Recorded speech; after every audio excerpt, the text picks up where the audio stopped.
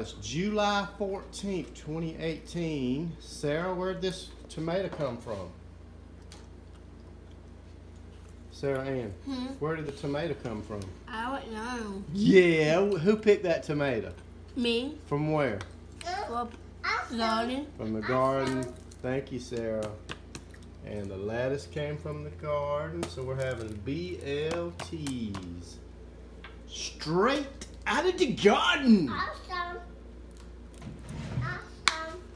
And nappy headed Mark was here. Awesome. Awesome.